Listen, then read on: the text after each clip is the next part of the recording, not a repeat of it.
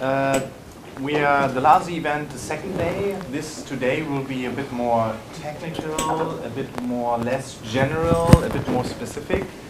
So that goes over certain data formats we apply, uh, how they are implemented, over specific ethical and privacy things. Um, and we're going to start with uh, Professor Ulrich Hoppe from the University of Duisburg-Essen, who is a learning analytics researcher um, in his group Collide. Is it called Collide? Yeah, we say Collide, but Collide. anyway, Okay, yeah. Collide.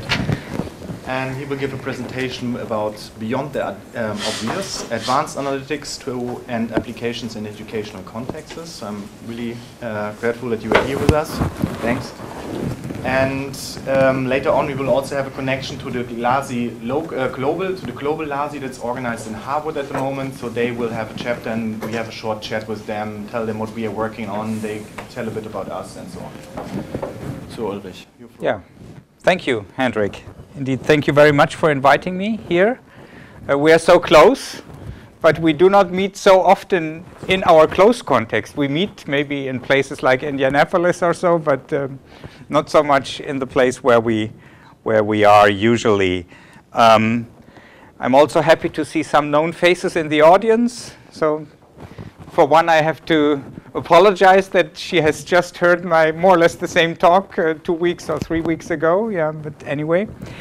So uh, beyond the obvious, um, yes, what I wanted wanted to do in this talk, um, say the rationale behind it is to show what you can do when you go just beyond um, the the standard analytics dashboards with some descriptive statistics. Indeed, I think there is much more to do, very interesting challenges, and I hope to share some of these with you. So um, this was my way this morning. Usually I try to, to kind of tell you a bit where I come from. In this case, it's easy. As I said, we are close, although we may, we could indeed make use of this uh, local proximity more than we than we do. So it indeed took me a bit more than two hours to come here. This is the region that I come from, the Ruhr, the industrial area, um, the old industries.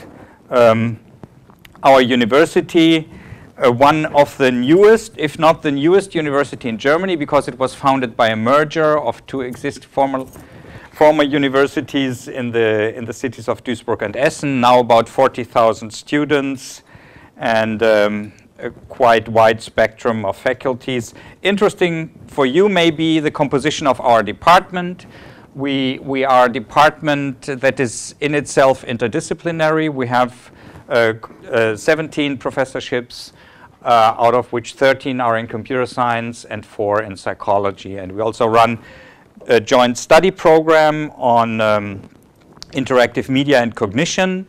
And also we have other study programs that are more just computer science oriented. Um, so this is where I come from.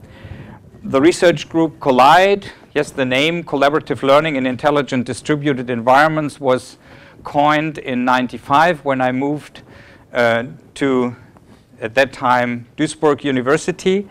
And uh, what we are doing in the group is, um, in general, what you could describe as knowledge and learning technologies. And uh, here you see some of the, the buzzwords that we have been, uh, have been uh, looking after. And um, a new word, a new term that is very important for us is, of course, learning analytics. So much about the context. So learning analytics, a definition of learning ana analytics. This is one of the possible definitions common denom denominator for all types of measurement, collection, analysis, and reporting of data about learners, about their contexts, with the aim of understanding and optimizing the learning and also the learning environment, environments in which the learning takes place. Um, there is a relation to educational data mining. There are people, education, the educational data mining community was formed maybe a bit earlier than the learning analytics community. And in my understanding, if I'm asked about the difference between learning analytics and educational data mining, I would say uh, uh, learning analytics is more open in the sense that um, that what you do in learning analytics usually involves human human stakeholders at different levels, whereas the educational data mining people, not all, but most of them, they, they use the analytics to optimize intelligent tutoring systems in a quite closed loop.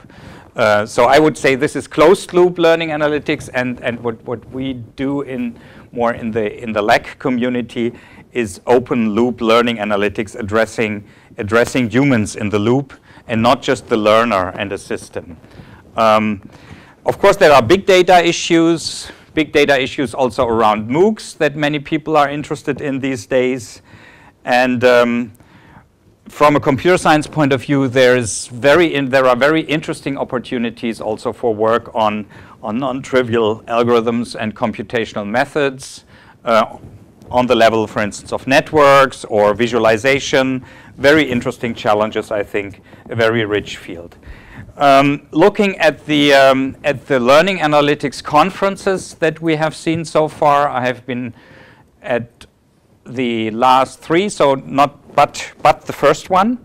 Um, and uh, I would say the main um, applications that you see there are on the one hand prediction of students at risk. That's typically in a university academic context. You have the files, the records of the students, and uh, you want to, to filter out those students that, uh, that may need particular attention to, to, uh, to support or to avoid failure in the academic system.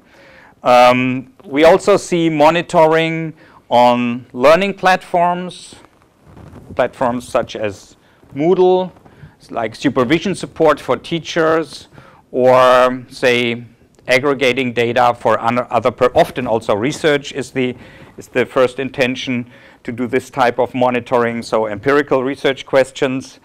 Um, in the intersection with the more um, known work on tutoring systems, I see open learner modeling. This may not be so evident, but in the intelligent, intelligent tutoring community, there, there have always been people who said, oh, we, ha we have these student models, let's open up these student models either to the learners themselves or to the teachers or to other stakeholders. This is, for me, very much in line with, uh, with the learning analytics approach.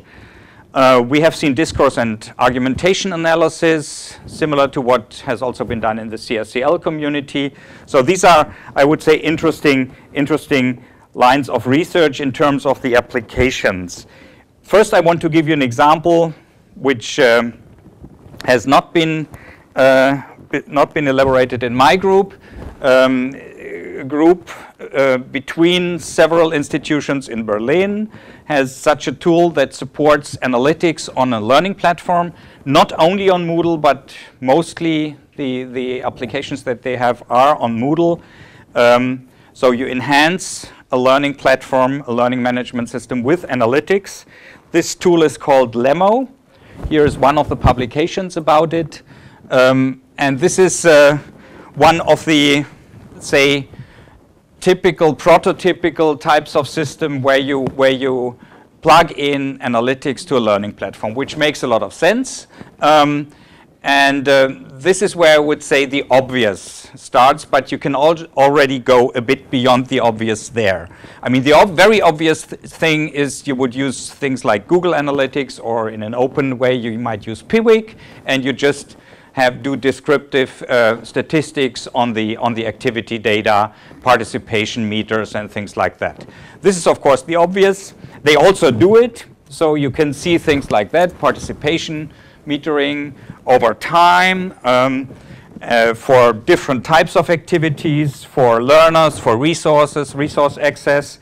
But they, what they also do, for instance, is they do transition modeling so that you know what would be typical paths that the learners take through the, uh, through the materials, visiting one resource after the other, um, or visiting one, uh, one location in the system after the other. So this is a transition system with probabilities in between, um, and you can use uh, also sequence analysis techniques to, for instance, find longest sequences that are still frequent. There are libraries that you can use there, and Lemo has some of these libraries included. So here you see how you can really go from, from the very obvious to things that are already a bit, a bit more, a bit less trivial. Um, now, for the rest, I would organize, I try to organize the landscape a bit using um, a three perspective approach. I see that there are three um, different uh, significant, significantly different perspectives on learning analytics. One is um, based on the activities, activity analysis. Uh, this is what we have seen, for instance, with the LEMO tool. You have the log files. The logs are essentially action logs. You have a process-oriented type of analysis. Uh, you use sequence analysis techniques. Uh, time is a very important parameter in these models that you derive. Uh, some people have used uh, techniques such as process mining, developed in Eindhoven. Um, and um, for instance, in our community, Peter Reimann, he has been, was one of the first to adopt such techniques, which originate indeed from theoretical computer science. Um, so you would look for action patterns, you would look for plans, there is, of, of course, a history of that, and you can do it here also in this area. A completely different perspective is looking at the, at the products, at the artifacts. Um, of course, we are particularly interested in artifacts that are produced by the learners themselves, because anything that we have prefabricated could be analyzed um, easily before. So it's not so much, uh, say, uh, learning object metadata, but it's uh, how to analyze the, the emer as we call them, the emerging uh, artifacts or emerging learning objects. Uh, what we can more or less easily analyze and where we have a, a variety of methods is, of course, textual uh, artifacts or textual parts of artifacts. You can look for things such as semantic richness. You can combine that with tagging, so you use user input to semantically analyze or semantically classify, and you use tag analysis. And then we have um, the, the, the network perspective, the network analysis perspective. Um, many may know social network analysis, for instance, the Wasserman Faust book on social network analysis. Indeed, these techniques do not only apply to social networks, they also apply to networks, for instance, of actors and, and artifacts. But you wouldn't look into the artifacts, and also you wouldn't consider time as part of your network models. I think this is a very important distinction that, um, yeah, I want to bring to your awareness. You would say, oh, that's, you can also use, you can also do network analysis, social network analysis based on log data. So if you know that people have accessed the same resource, you connect them but once you do social network analysis or also actor artifact network analysis, you take your data, aggregate these data in a time window, and what you get, the model that you get, is no longer time dependent. Uh, of course, you can then look at time series of such models, which is very interesting, and we will see an example of that.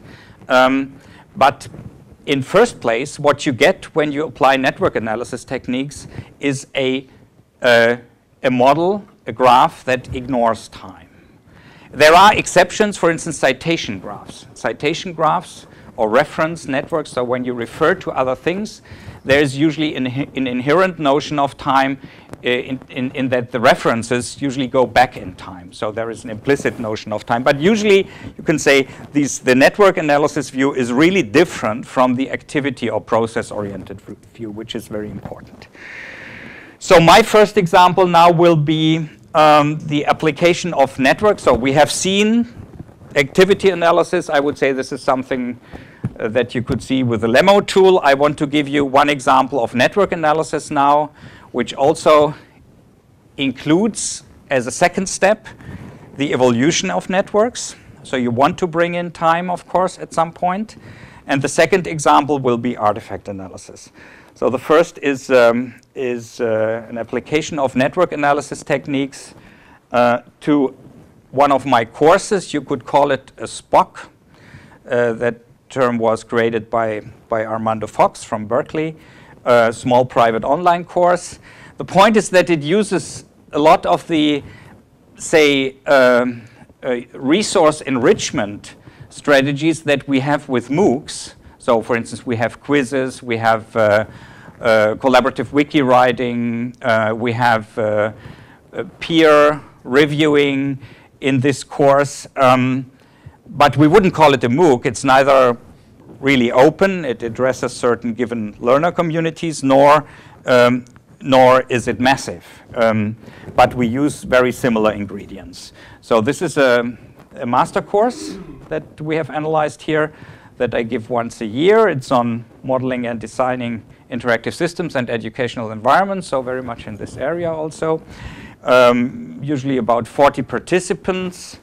Um, and um, we used to have uh, a, a lecture, a traditional lecture, plus an exercise with also hands-on or often you prepared the hands-on experience, then you came to the exercise, discussed it.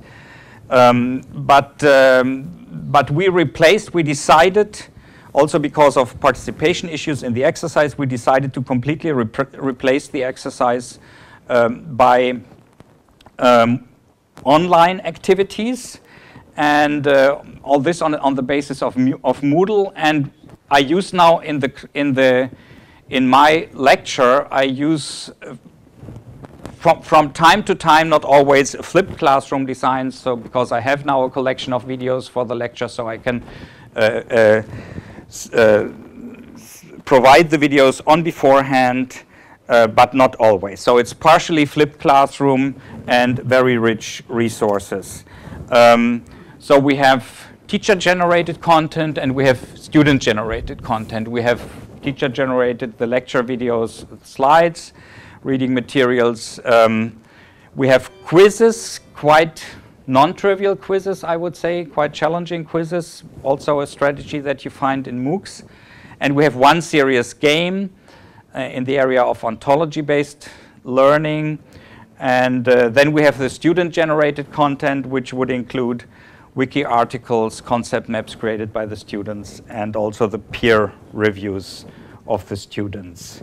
All this takes place on a Moodle platform that uh, we have extended uh, with uh, a video plugin that was uh, developed in, a, in an exam thesis. Uh, and we have uh, navigation tools that allow you to, to navigate between the vid videos and other resources. Um, so this is the environment that, um, that uh, this takes place in. So first some very simple descriptive statistics, the obvious. Um, here you see the, uh, the users per day over the whole, over the whole semester. That's uh, one semester from mid-April. And this is uh, beginning of September. Of course, that's not all lecture period. This is the exam period. This is the exam period and this is the lecture period. And here the red line is uh, video access. Of course, what was quite interesting for us first was to see how the resources are used differently over time. You see these, this burst in video. Um, video. The videos contain all the core lecture elements. Also in these, in the size that is usually, usually suggested for MOOCs, this is not a MOOC again, but we have up to, yeah, I think the longest are 25 minutes or so, the longest videos, but usually they are in quite short pieces. Um, and um, you see they are heavily, heavily used for, uh, for uh, exam preparation. I think I can show both directly. So first research question uh, that, we, that we have been looking at was uh, the valuation of the different materials by the students. Uh, here you have um, statements about, yeah, the course as a whole. It is seen, so the uh, here you have the full agreement, this light gray blue and this kind of violet is agreement. So if you combine these two bars, then you usually have the positive, the positive reactions. So very positive reactions to the course being perceived as interactive. Uh, videos are, are very much appreciated. Um, the forum a bit less. The wikis very much. And uh, here you see a more specific question, how the, how the material is evaluated for exam preparation. Um, and you see that the highest scores, although all not too different, are for the videos and the slides. So for teacher, for teacher uh, generated material, but you might add these two. For instance, here you see this is quizzes. Quizzes um, would also, this is uh, still quite positive agreement. Quizzes um, and also the wiki articles would also be used quite uh, frequently and would be appreciated very much. So this is, this is uh, our findings about, about just the usage of materials. Um, now we, we wanted to look into the, um, the internal group structure and, and how it evolved over, over the course. Indeed, we have in this course um, students from three programs, and we wanted to see uh, if there are different patterns of usage in the different groups. One is an, a group of international students, um, often with an original bachelor level background uh, in engineering. And then we have uh, our, our computer science, applied computer science students, and we have this interdisciplinary group with, with psychology, um, interactive media, and cognition. They are all in this master course. Um, so more or less every group, at least 10, uh, between 10 and, uh, and 17 or so. Um, so we wanted to analyze resource, resource access patterns over the course of this lecture, um, just to, to study the different behavior of, of these groups and maybe also to learn about, uh, about the role, that the different role that, that the resources uh, play over time. So first, if you want to model this situation, um, what do you have to consider? I mean, we have the resources and we have the students. Um, from a network analysis point of view, this can be transformed into a um, bipartite graph, what we call an affiliation network in network analysis. Uh, so we have affiliations between students and resources. We wouldn't consider connections between the resources at this level, and we wouldn't connect. Uh, we wouldn't consider social relationships at this point. Um, this gives you this typical structure of an affiliation network. That's a famous one uh, the Southern Women Network that you also find in the Wasserman Faust book. But practically, what, what we have here gives us the same, the same picture, and we derive it from the log files. But once we aggregate the log files into such networks, as I said, there is no more, no, no longer a notion of time in the representation. Now, it's a standard question how you can find so-called subcommunities in such a community uh, subcommunities or cohesive subgroups, as I prefer to say, cohesive subgroups are characterized by being more densely connected among each other than the rest of the community. And there are several algorithms for, for finding such uh, cohesive subgroups. For instance, modularity uh, is one, is first of all a measure, but you can use the measure um, to also to optimize a partition of the group. Um, if you use such algorithms, it's very important that you know about the logic of the algorithm. Some algorithms would just give you partitions. So by definition, they would just give you separate subgroups. They would not, not overlap, just because the algorithm works like that. Other algorithms may give you overlapping subgroups. Depends on what you want, but often uh, allowing for overlaps between cohesive subgroups is very interesting because people who participate in several groups may have very important roles in the whole community, like, like we say brokers or bridging roles between the communities. Um, and there is one, one method that um, allows you to find overlapping, overlapping groups in social networks. That's the clique percolation method. That's a quite interesting one. Um, in, the, in the normal case of a, of a one-mode network, this is how it works. So for instance, here you take a, a clique of, uh, of 4 that you start with, and you look if you can extend the clique of 4 uh, by another node. For instance, here, in this transition from here to here, this was the clique of 4, a completely connected subgroup. And now you add this node and you delete this node here. And so you percolate this clique through the graph, and as long as you can exhaust a portion of the graph, you just graph you just add these these nodes all together. And you can do that from different starting points, which may give you indeed overlapping overlapping uh, subcommunities. And now we have a different situation. We don't have a normal uh, uh, uh graph, uh, but we have a bipartite graph, and there is an extension of, of this method also for bipartite graphs, which is a bit more difficult to imagine, but I would just appeal, take it as an anal analogy. You can use this method and also apply it directly to the bipartite graphs. What you could otherwise do, you can always what we call fold a bipartite graph into a unipartite graph. Say, that would mean, for instance, for the students, you would connect those students who have used the same resources. So they would be connected by or mediated by the resource. You can always do that. But then you lose information, and it's often more interesting to stay in this richer representation, bipartite representation.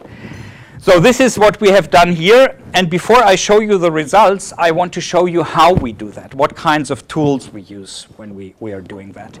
And um, we use for these purposes a workbench that we have developed in a recently finished uh, European project, indeed not a technology enhanced learning project, but a science analytics, I would call it a science uh, analytics project. SISOB stands for um, an observ observ observatory for science and society, was in the program Science in Society. And um, it was, the idea was to go beyond standard um, yeah, scientometric, bibliometric techniques that are, for instance, used when you're assessed by your university administrations or so.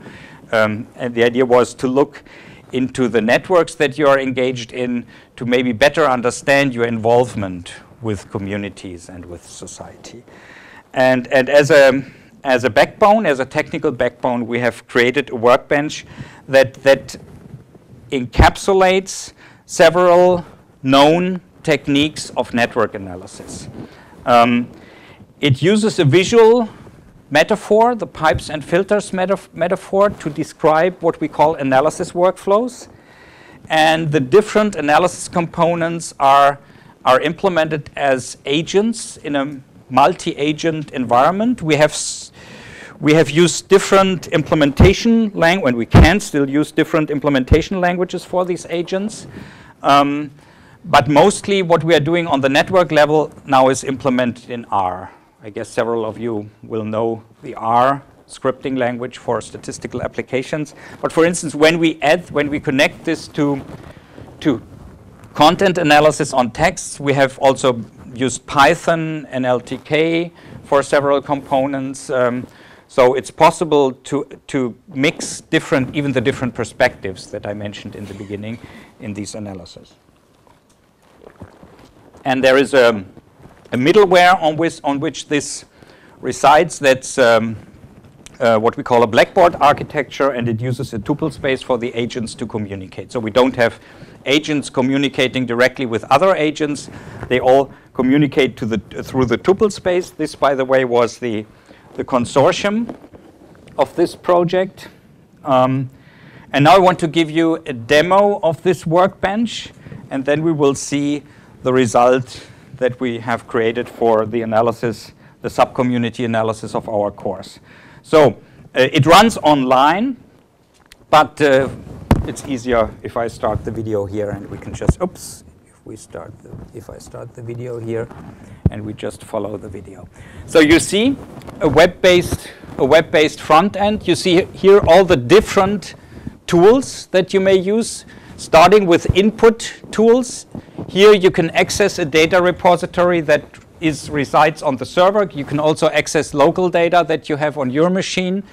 Uh, but then it's of course not very uh, reasonable to share. If you want to share, it's better to put things on the on the server. You have several data converters. We support standard formats. For instance, Pajek is a well-known tool. We, tool. we support the Pajek format. We support the UCINET format and uh, other formats. Here I load a workflow that, um, that uh, does uh, a, that indeed does exactly this uh, extraction of a two-mode network using the clique, percolation and then a forced, force-directed clustering on this network. It's a simpler network that, than the one that we are going to look at after. This is just a publication network. And then you get results that you can also directly um, uh, view through your browser. So we, we have a second, uh, usually then will be a second tab in your browser. You switch between the editor of the workflow and these visualization windows in which you, in which you then see your, uh, your data. In this case, the, um, the subcommunities were colored. You see the overlaps. And here what I, what I do, I change this workflow by adding into this analysis or integrating into this analysis workflow also the calculation of centrality measures. Degree centrality, just the number of connections that a node has, and also between betweenness centrality, which tells you how important this node is to interconnect other nodes in the network. Yeah, briefly. So we see this is now, this is now changed. And uh, if we run it again, we see the colors. I should explain the colors. Once such a module is in execution, it will turn uh, yellow. If it's executed, it turns green. And um, so in the end, everything should be green. If it turns red, it's not so good. Then we have a, an error in the execution. That can also happen. So now you see um, the same picture, and now you also have additional information on the nodes about the different uh, degree, uh, centralities and degree centrality that you can that you can also view as properties of the nodes. So this is how how this workbench works, and uh, we have, as I said, now applied this bi-clique uh, percolation method to our, to our community, which gives us, um, for different time slices, and now time comes in, for different time slices, we get constellations that describe the resource usage distribution in, in our learner community. For instance, this, this was one situation. Um, here, we were, that was a time when intelligent tutoring was the new topic. There were some older topics. You see all the, the, the colored clouds are subcommunities and they can overlap. And you see this com these communities, they contain students and resources, reading materials, etc. Very interesting was that at that point in time, we had three students heavily interacting with videos. And we didn't really know that was many other connections here are uh, just reflections of the assignments that we have given to the students. This was not. It's quite interesting. So we had a subgroup of students in, in this time slice looking at, um, at uh, videos. Um, and that was during the lecture. Um, so what are uh, now research challenges if we, if we apply these techniques to, to such research intensive online courses. Um, there's one thing um, that, um, that uh, we are doing now with certain project-specific applications is that we, that we try to embed um, workflows that we have applied successfully and that have, uh, that have given us interesting insight into the environments. You can do that through a dashboard. Um, but you would not have users using the workbench directly, for instance, uh, uh, say supervisors. The workbench is for, for analysts. If you want to use the workbench, you really need to know about the concepts, for instance, the network analysis concepts, etc. But you may want just to convey the results through the platform, and also you may want to feed that back to students. So these are general points specifically for this subcommunity analysis.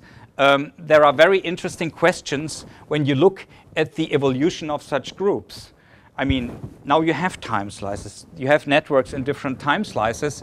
How can you say a, a, a community um, has survived? Maybe it was here, it has grown a bit, it has been contracted, some people have left it, but it's still the same community. The community has been split here, or it died out, or a new community was born, two, two uh, communities have been merged. These are now very interesting questions once you have the basic time slices with the, with the networks to answer such questions for, um, for the evolution of communities. And for this purpose, uh, we can generate, on the workbench, we can generate these swim lane diagrams. These are still bimodal, bipartite uh, diagrams. So you have um, the squares are the resources and the circles are the students. So here you see one group of student, students. Um, this is a student group and this is a group of resources. Indeed, the, the symbols now refer to groups not to, not to individuals. And you see that there is a continuity here in this student group, and, but they have uh, some changing access to resources, which is natural for the, for the lecture. But the, but the group as such um, is more or less stable. So here is, and there is a local continuous interest in resources by this one student group, but this changes after some period of time. Um, or here you see a lot of variation in the resources and groups being just stable for, for part of the lecture period. Um, here we have a, a, quite continuous, a quite continuous group, both resource-wise and uh, and uh, regarding the student group. And this is the exam period. Here you see you see variations, lots of variations, because everything is important and you need to, uh, uh, you need to, to take it into consideration. So what we found by this analysis is, first of all, that there are certain standard behavioral pat patterns um, also to do um, to some extent with the with uh, the task assignments that we have given to the students. So at least positive if the, if the method really reflects that back to you, that the task assignments are visible as constellations in the community. We have seen this unexpected grouping of students around videos. We have seen continuous interest in the wiki articles, not only during the time when the wiki articles were written. The wiki articles are student-generated content. Um, and also not only during the peer reviewing phase. Uh, we have seen that videos are particularly used for the exam preparation. This is also something that we had already seen in the, in the descriptive statistics, if you remember, but we could also see it here. And we have seen that there were different resource usage patterns for the students from the, with the different backgrounds in terms of study programs, particularly during the, the exam phase. Um, so this is, this is more or less what the microscope can give you. Um, some of that is, is, say, plausible, as you can explain, you could, you could predict that. Other things are, are um, unexpected. Um, so this was my example for network analysis. Um, so there are quite sophisticated techniques. I would not only because I'm originally trained as a mathematician, and I'm always happy to see non-trivial mathematics in what we are doing, um, but I really believe we should exploit the potential of, these, of this rich inventory of, of algorithms and methods that we have in network analysis. One of the big challenges is, of course, how to marry that with time so that we can bring in the factor of time. You see, with subcommunity evolution, that's a it's a question that, that, that has to do with time. Um, the next point that I want to address is artifact analysis, uh, talking about time. Uh, yeah, okay. So, and uh, what I want to show you is the extraction of semantic networks. So, in a way, we come back to networks, but the starting point is textual artifacts, from textual artifacts that are created by students. And this comes from, a, from a, uh, an ongoing European project called JuxtaLearn, um, with uh, the coordinator is the Open University, Milton Keynes, Swedish partner Linnaeus. We are here behind RIAS, that's uh, uh, an institute, a non-profit institute that we have created between the university and another institution. And um, so the point of this project is what you could call second order inquiry learning. We assume that students have acquired some knowledge in fields of science and we want to deepen um, um, this knowledge um, and consolidate this knowledge by having the students um, explaining and presenting this knowledge in the form of videos. So they create videos on their understanding of certain science domains.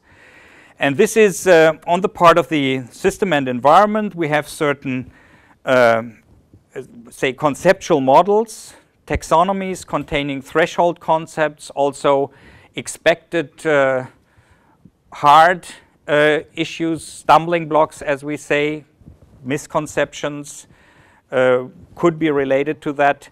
Um, so we have some, some uh, say, a semantic space in which we used to to to uh, to um, also both to direct and to monitor what the students are doing, and um, and this happens around these videos. In the first part of the project, of course, we did not have um, student-generated videos generated by our own students. So what we did in the first round was we had workshops with teachers and students. These were flipped uh, classroom style workshops in which the students presented their understanding to the teachers and discussed with the teachers in uh, were selected topics from chemistry, biology, and physics, always one topic. And we had protocols from these teacher-student workshops that we have analyzed using um, the tool AutoMap, which uh, was developed at Carnegie Mellon University by the CASOS Group, Kathleen Carley. Um, and there is a corresponding tool, ORA, for visualization. So here we have just used uh, tools that, that, were, that existed. Um, and uh, we have run the workshop transcripts, transcripts through these tools. These tools generate from the texts, again, multimodal uh, maps. And the modalities, the, the, the, the, different categories can be, for instance, you can identify actors, domain concepts, pedagogical concepts. Of course, this is not just, you don't just get that all automatically. You have to build up these vocabularies interactively with some intellectual input.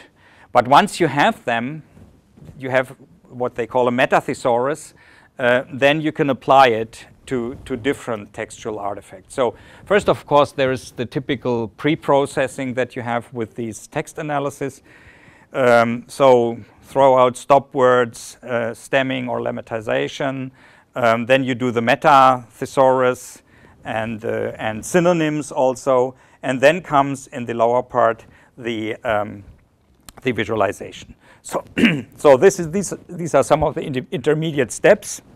Very important you classify the concepts that you that you detect, and uh, then you can visualize, visualize, and this may give you a situation such as this one. This is indeed a, re a real um, product from from one of these workshops. The blue network is a domain concept cross-domain concept network. So that's a unipartite network that just shows domain concepts that are closely connected. Closely connected here means the AutoMap algorithm runs a window over the texts and whenever two words, you can adjust the window size and whenever two words appear in the same window, you will, you will establish a connection between them. Uh, you could have weights of the connections, but here they, you don't see that. And then the gray part is the connection of actors, in this case, only students to these, to these uh, uh, concepts. I mean, students are mentioned in the protocols, and you can see when a student appears in connection to such a concept. So you can see, for instance, here that this student has been really active, yeah, and um, we have this one also. In another version, we also had the teachers and the researchers involved, and was not, not such a nice picture for the teachers, but maybe it was a flipped classroom, so the student were exposing, students were exposing, so it was also clear that uh, the students would be more active here. Um, so what you see, um, you can extract such, um, such uh, semantic networks from text. And now, since we did not have our own videos, um, but we wanted to study uh, the, the interactions around videos, we have, uh, we have used external sources um, to extract uh, information from video comments with the idea to reflect by this, um, through these networks, the understanding of the domain that related to this video, and, and possibly also to detect misconceptions. And we have mainly used Khan Academy videos. Also, many of these, no, all of these videos are also on YouTube. So Khan Academy uses YouTube to store the videos. So you can find the same videos there, but the comments that you find on YouTube are quite different from the comments that you find on the Khan platform. The Khan platform is moderated, and so there's kind of quality control. It was interesting to see the differences. I will not elaborate on that. We have also done that now, and we have used the same approach um, for analyzing video comments on the Khan Academy platform. And here we have added a new category of concepts. I mean, have, we have these domain concepts, we may have places. Here, pedagogical concepts would probably not be such an important class of its own. Um, but we have general concepts. And, but among the general concepts, we found there are, there's an interesting subclass. Like, for instance, can you explain the difference between x and y? Difference between would not be a domain concept. It would just be a general concept. Or can you explain? Explain is a general concept. So there are words that signal uh, some information need or, or, or some problem of understanding on the part of the student. And some of these words, they would go with, with single domain concepts or others would establish relations between domain concepts. And we have used this on this sample. We have used a sample very similar to what we have also done in the, in the workshops. Um, and from this sample, we have extracted, just using AutoMap, such, um, such uh, uh, relationships now between signal concepts and domain concepts. For instance, here you see um, difference between diffusion osmosis. The problem now is if you just use AutoMap and what it gives you, um, everything around difference between is on the same level. So you could say, oh, maybe it's just the difference between osmosis and solution. But more, much more likely, we, we would say it's the difference between osmosis and diffusion that was the problem here. So you cannot separate out. It's kind of, you have a multiplication, and um, you also have unary concepts like def definition, give me the definition of a membrane, etc.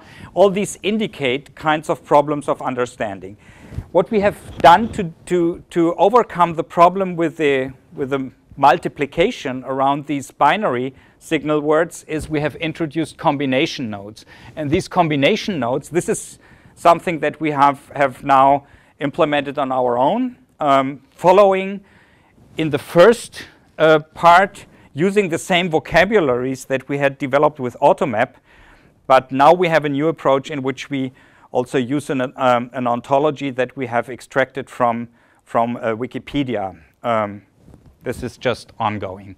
Here you see um, the, the size of the combination nodes tells you how often this occurred. Here you see potential difference voltage was often uh, seen as a problem to distinguish. Or a very famous thing, weight and mass. Also something that very often was uh, what is the difference between weight and mass. And now you get that. So what is, what is automatic here? Um, the analysis is fully automatic. The vocabularies, the signal words are just predefined manually by us. the, uh, the domain vocabulary we have taken over first uh, in the first step from, from our AutoMap analysis. But now, as I said, we are, we are using uh, um, uh, a, a, new ontology that we harvest from Wikipedia. Uh, so that is also, and, and, here this is projected back to the original context. So here you see, for instance, I finally understand osmosis, thanks Khan. And this is the internal representation after the pre-processing. And um, so you have do understand, understanding in connection with osmosis. Um, you could say, oh, that's a positive statement, and we interpret it as a negative statement. But on the other hand, it shows there was a problem of understanding with the concept of osmosis. It was at least before.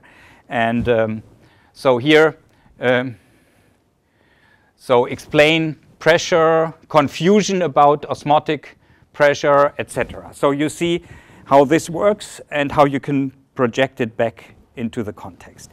So we will embed this now into the JuxtaLearn process in different phases of the JuxtaLearn process. Um, on the one hand, to support teachers in their monitoring, but there's even uh, a longer term point here.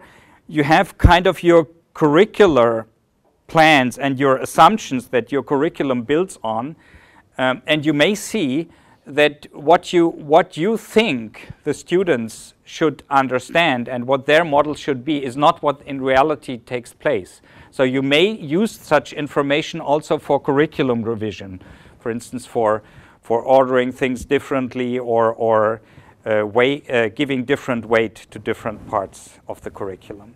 So this brings me to the last slide. So we have seen one example of quite detailed classroom monitoring. We have seen what is possible through such a microscope. Big question, of course, how about privacy, data protection? I heard that you are also going to, to address this. Um, we have seen uh, what you can do with artifact analysis around learning artifacts, emerging learning artifacts. Um, I hope I could convey to you that, that if you want to do new things, if you want to create innovation, it's always interesting to cross the borderlines between just doing artifact analysis. And here we have seen artifact analysis was connected to networks. We have seen networks interpreted in, in, in time series. Um, and I think we need more of that. And another point that I have not that I've only mentioned at, uh, in, in, in one situation, I haven't really elaborated on. Um, the question, of course, is also how you how you embed these these techniques into your into your environments, so that certain stakeholders have an adequate access to this information. So um, we have here more seen the the analyst's perspective, how the more or less uh, analysis experts would do this. Um, yeah, this is, uh, this is one example of such an embedment from a recently finished project, uh, FoodWeb uh, training, training um, um, people in the uh, food industry. Um, and here you can see this is more or less like a, a teacher or teacher supervisor uh, uh, dashboard that would allow you to, to view constellations of certain groups. And you see, you can, if you want, you can still embed the workflows here and show them, but you would not longer, no longer manipulate the workflows, for instance, on that level. Um, yeah, that's it. Thank you for your patience. I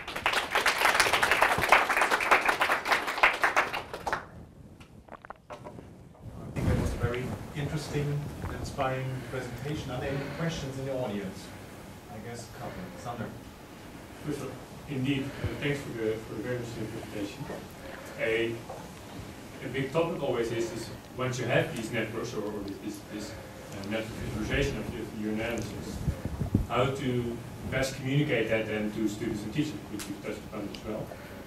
Do you know of some best practices or other good ways to, to convey this without sort of having to give a large tutorial for them to understand?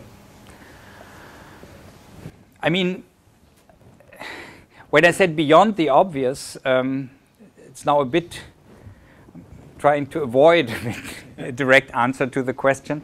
But when I said beyond the obvious, I, um, I wanted to plead for first also doing non-trivial things really with the data. Uh, and of course, particularly when you do that, it's even more difficult to feed that back. A, a simple participation, uh, say, histogram or so, is quite easy to interpret, I would say, for a teacher.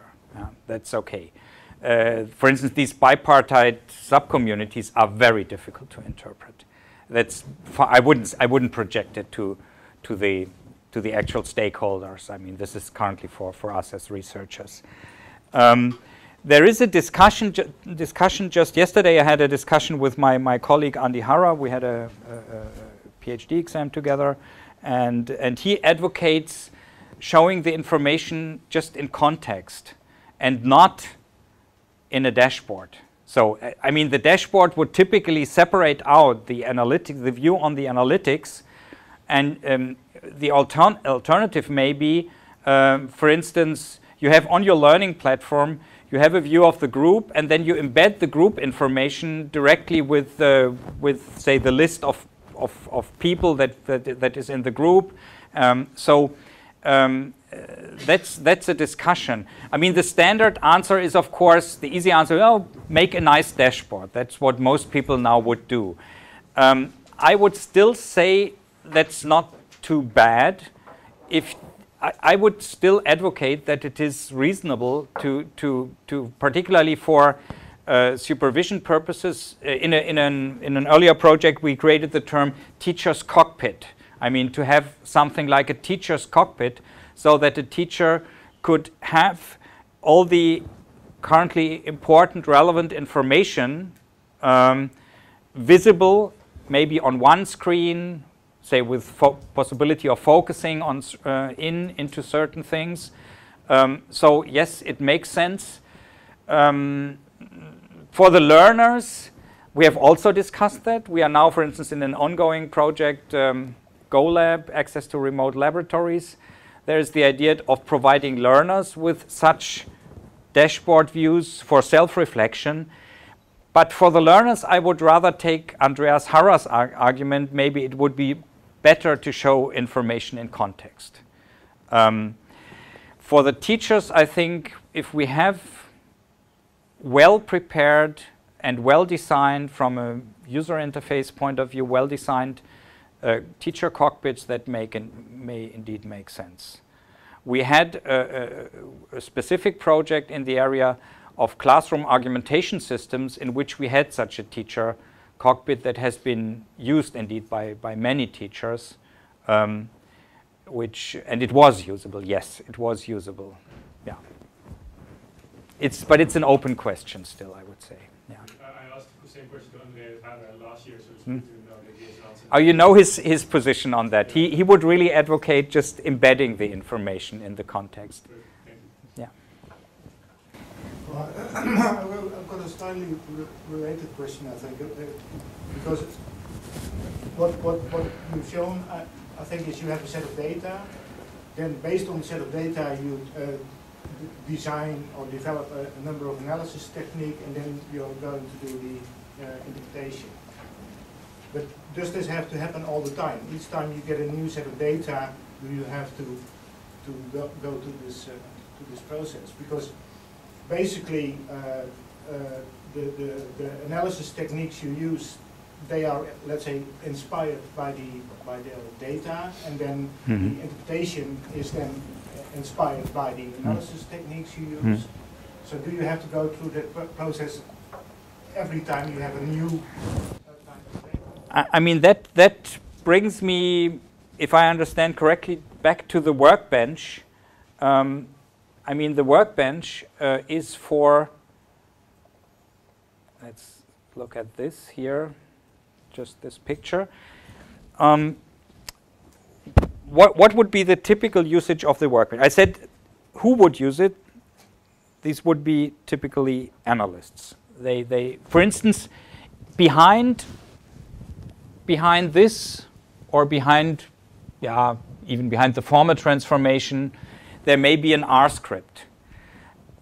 So there are several researchers writing their own R scripts, but once you have a rich library of such modules, you may no longer have to write the R scripts on your own.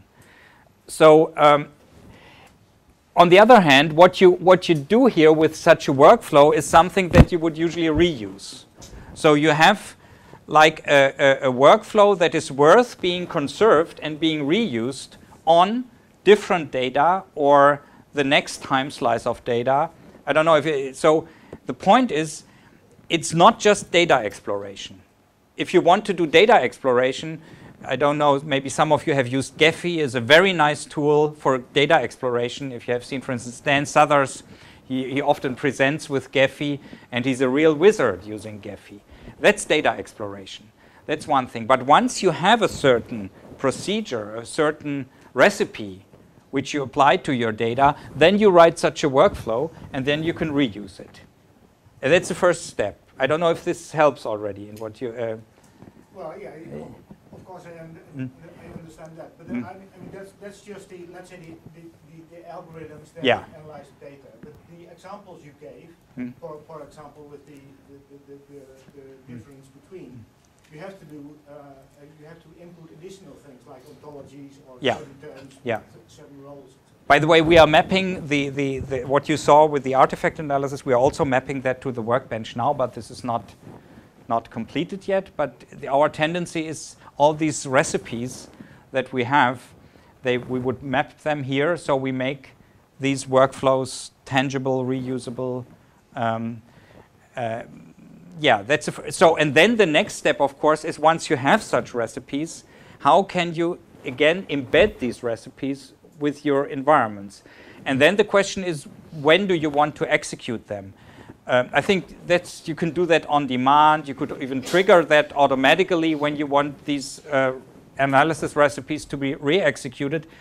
The more difficult thing is if you do it at different times with different time slices of data, how do you interpret this in between? I mean, we saw that with the subcommunities.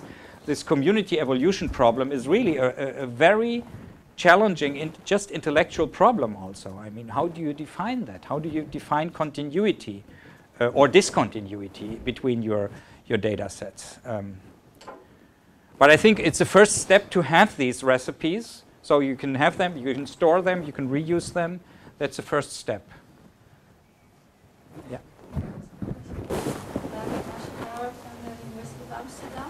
I've seen that you showed the, the, groups, the communities who are merging and who are dividing. How, how can you follow this in time? Yeah. Because maybe you could predict and, and, and give some um, advice to groups or students. Or yeah. Um, first of all, how we follow them in time is just we, we, we separate the data or we aggregate the data over time windows and we shift the time window over the uh, over the I mean you have log files with times with timestamps and you always separate out intervals. This gives you a time series of networks. Yeah? And then indeed there's this question uh, how do you when you saw th these um, these sequence uh, these swim lane diagrams you identify communities in the different time slices. You need certain, the community will not be one-to-one -one the same, so you need certain, a certain fuzziness in the definition so that you can see, oh, the, the community has only changed a bit, it's still the same. So this is this one thing. Now you add another question, that's prediction. Um, can you predict the evolution of such subcommunities? That's another well-known problem in the network uh, modeling and network analysis community. It's called link prediction. Link prediction is not in first place for, the, for communities, it's just for links. But in a way, if you aggregate links, you would again find communities, or you could use community structures as basic information for link prediction. But I can tell you that link prediction algorithms have very, very low, uh, say, precision or reliability in the prediction. So um, um, could, I mean, we have, we have seen these standard uh, problems that are also addressed from a, from a practical point of view, prediction of students at risk. Uh, imagine, I mean, what you typically do is you have, you have uh, uh, features, you, kind, you, you, you, you featureize your data, and then you see, you can use machine learning techniques that tell you that certain combinations of features that, yet, that you extract from your student record often go with failure of the student. So it's just a statistical uh, prediction, and you may derive these patterns using some, say, machine learning techniques. There is no dynamic model behind that necessarily. Um, once you want to, I mean, you might indeed use such microscopes as the one with the subcommunities if you if you want to look more deeply into your student populations, particularly when it when it comes to looking at courses as we did here, and then you may interpret the belonging to to certain groups um, in your way, and probably you as a teacher will have some better understanding of what it means to be in this group at that point in time. Um, for instance, we haven't pursued this issue with the videos because it, it, wasn't problematic, and we only found it afterwards that students at some point, completely unexpectedly, were just gathering around around videos. There we, we, we, didn't we didn't know why. Yeah. Um, okay. Um, prediction is very difficult to bring it to a summary. Yeah. Uh, I think that we're time's up now. Thank you very much. May, may I ask another small question? You, you follow the students. Did you ever uh, look the, the, the actions of the lecturers and, and the way how they support and supervise? A very good point. Um, we have uh, we have advocated. We had a workshop in which um, I also used this argument. If we do student tracking, why don't we do teacher tracking? Yeah, we can do it and using more or less the same techniques. Although, I mean, the numbers are different and. Um, but on a Moodle platform, of course, you can also track teacher actions, and it's interesting. Yeah. I would Okay. Thank you. Colleagues, many thanks. It's on the website.